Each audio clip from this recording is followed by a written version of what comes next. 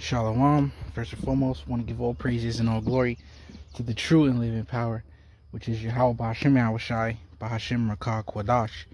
Yahweh is the true name of the Heavenly Father. Yahweh Shai is the true name of his only begotten Son, and there is no God beside them. And I want to give double honors to the apostles and elders of Great Millstone, who definitely rule well, who taught us 100% truth of the scriptures, and honors and citations to the elect Achim doing these works in season, out of season, week in, week out, sincerity and truth. yeah, I gotta entitle this one, man, messing with these people. Messing with these people, man. You know, you fooling around, messing with these people, you're gonna find yourself in a in a in a hey. What the scripture say in second Esdras, you're gonna find yourself held in mm-hmm. derision. Okay? With shame and contempt. And these people, of course, I'm talking about are these these elites amongst the E's, these E's, man, these Edomites, the elites amongst them who carry the full spirit of Esau Edom.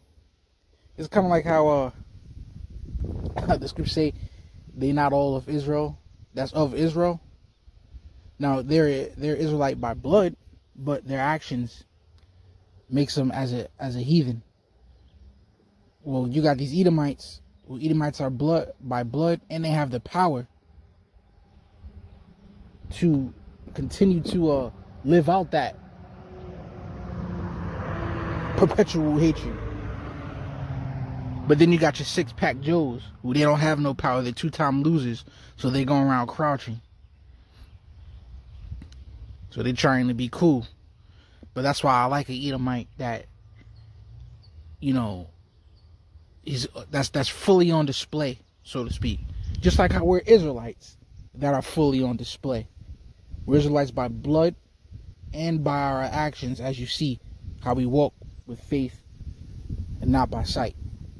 Lord willing, you know, that makes sense. So anyhow, let me get my first scripture. And as you can see here, I got this lesson here on YouTube. Oh, let me see. This, this is what it's called. The C1 to the 9V injury compilation. Woo. And, you know, as I'm watching, I'm just like, dang. See? Messing with these people is what you're going to get. Because we know exactly who they are. So this is Deuteronomy 28 and 48. It says, Therefore shalt thou serve thine enemies, which the Lord shall send against thee, in hunger and in thirst and in nakedness, and in want of all things. And he shall put a yoke of iron upon thy neck until he have destroyed thee. So we're gonna go to him, but for want of all things.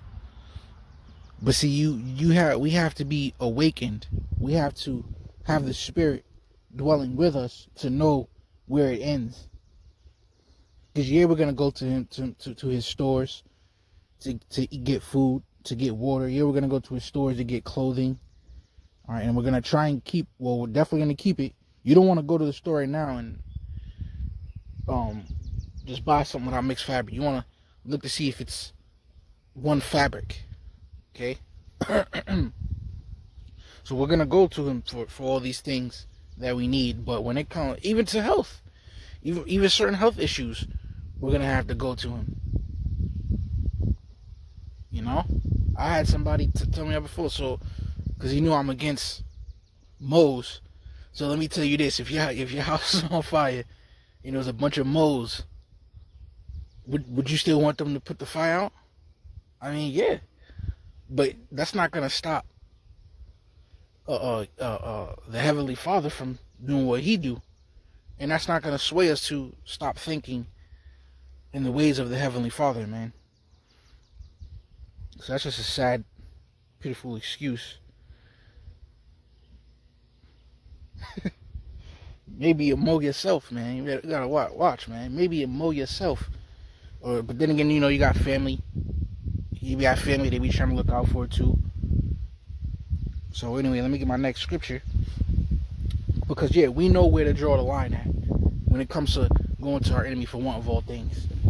We know when to apply wisdom. Unlike the rest of our people. A lot of our people who fell for the bait. Now let me get the book of uh, Ecclesiasticus, or the book of Sirach, chapter 12, verse 10. It says, Never trust thine enemy, for like as iron rusteth, so is his wickedness. And who's the enemy? You got to read the book of Psalms, chapter 83. Which Okay, Con Salakia got a call, had to pause it, but anyway, let's get right back into it.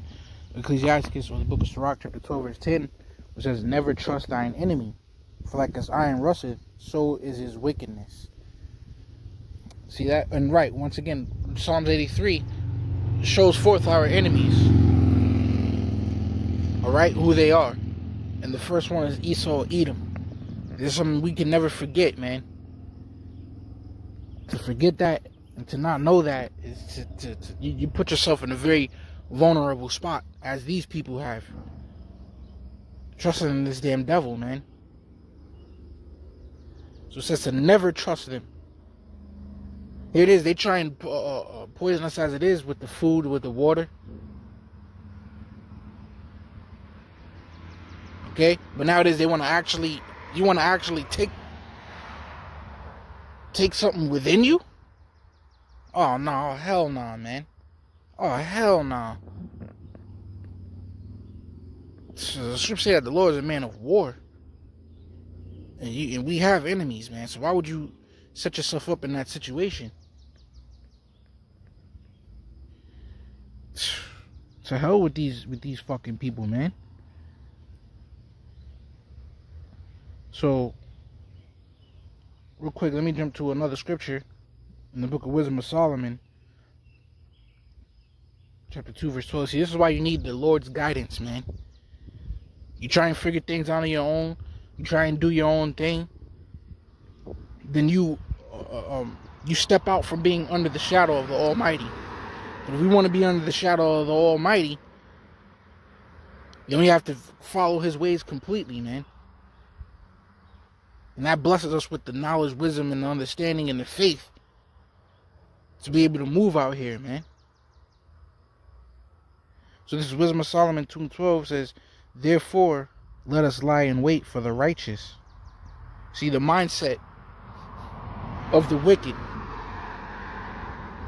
They want to lie in wait for the righteous. Those that fully believe in Yahweh Shemashah, that believe in being an Israelite, which was which is our, our culture, our heritage, our blood, our bloodline. They're lying in wait for us. You know they're constantly, you know we're constantly in their mind, so that they can uh, uh um get uh, get us uh, in trouble pretty much, get us out out from teaching our people, waking our people up to the truth. Okay, and some of them is going, some of our people is going, is going, um, they gonna ride with E. They ride or die for E. But that's why we know that this is only for the hopeful elect, man. This is it's a it's like a lonely road, man. Well, that's why it says, and also in the apocrypha, like a like a drop is compared to a wave. That's how many is gonna be destroyed compared to how many is gonna be saved. So we are, man, we are truly like one small drop, like an eye drop. That's how small extremely, extremely, extremely small the true worshippers are.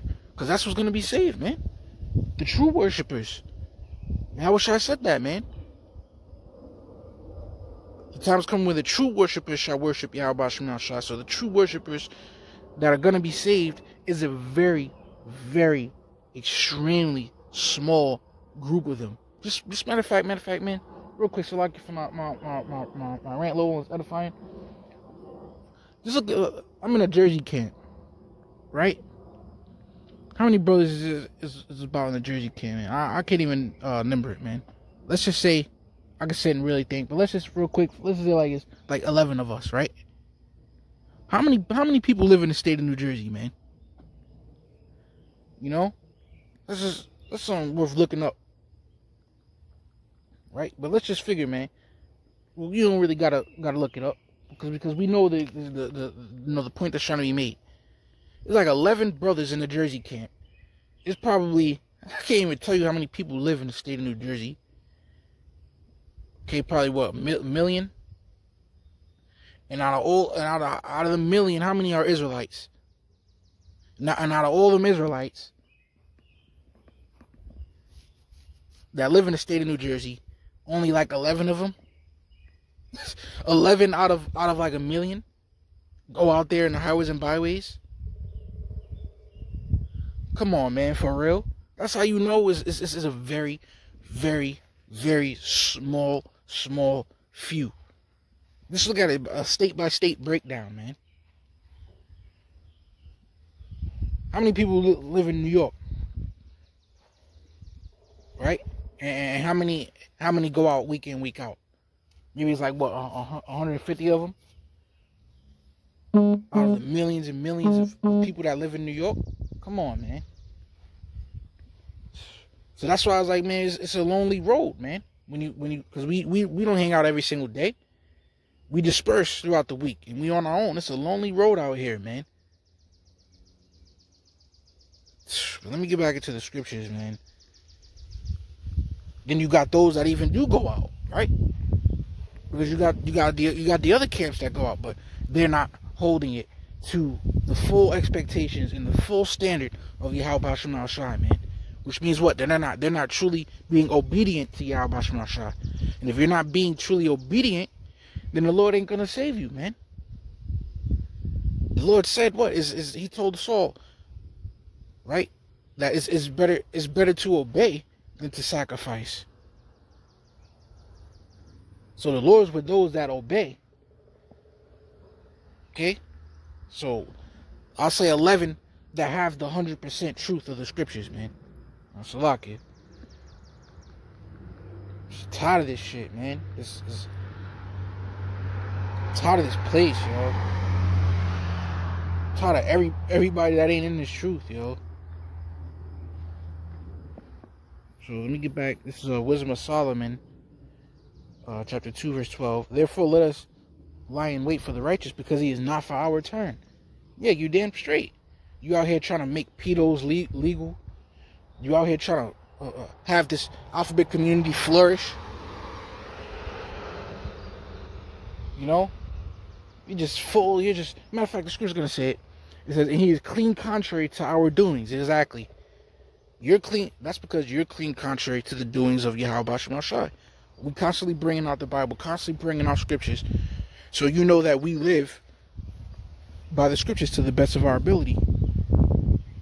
And we realize that the way you live is completely opposite to the scriptures, man. And the scriptures say that this is that this is the way of life, man.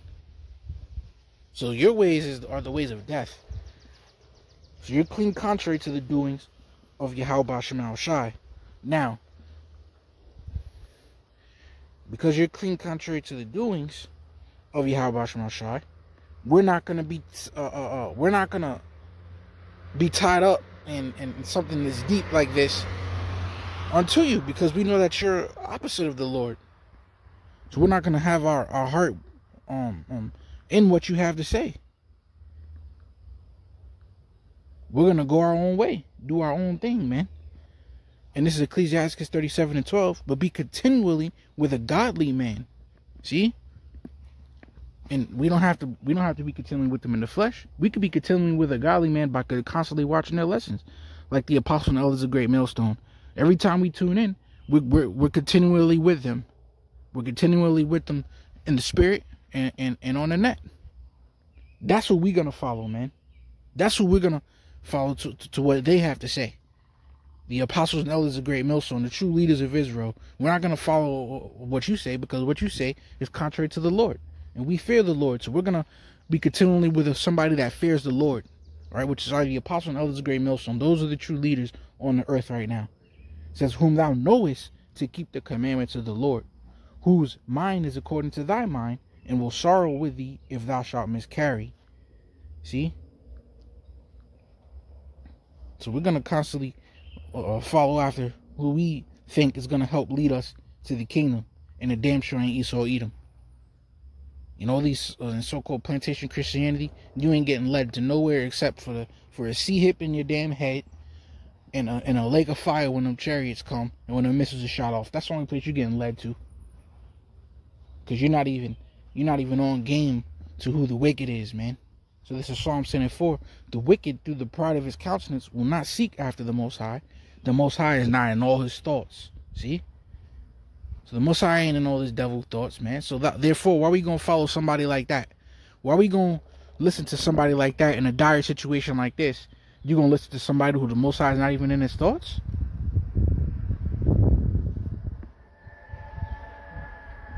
Nah, man, I don't think so. We're gonna listen to somebody who's, who's who's constantly in the spirit. Alright, so hey, it's a lonely road, man. It's a lonely road, it truly is, to, to the hopeful elect that enters into the kingdom.